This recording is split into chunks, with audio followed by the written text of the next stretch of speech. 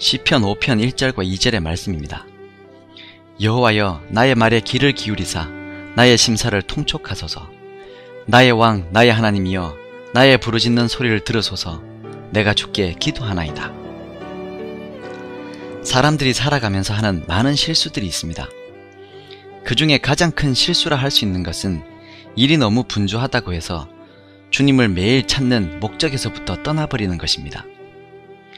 그리고 제일 큰 손해는 주께서 우리와 함께 하지 않으시는 것입니다. 우리가 자주 주를 향한 우리들의 마음문을 닫아버리기 때문에 얼마나 많은 실수와 손해를 경험하고 생활합니까?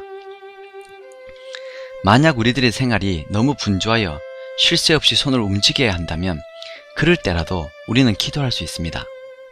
그러면 우리 구주의 귀는 언제나 열려 있어서 우리들의 강구를 음악처럼 들어주실 것입니다.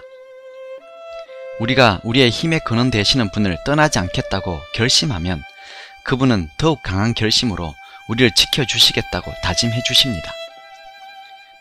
그러므로 비록 우리들의 눈에 그것이 아무리 귀하고 아무리 사랑스럽더라도 그것이 우리들의 마음과 애정을 하나님의 말씀의 연구와 또 진지한 기도에서 떠나게 하는 것이라면 과감하게 접어두어야 할 것입니다. 우리가 믿는 하나님은 마땅히 우리가 있어야 할 그 장소에 있을 때에 우리를 돌봐주시기 때문입니다. 오늘 우리가 주님께서 원하는 장소에 우리 자신을 머물게 하므로 가장 큰 이득과 가장 지혜로운 선택을 할 수 있게 되기를 바랍니다. 사랑의 주님, 우리에게 기도의 중요성을 가르쳐 주셔서 감사합니다.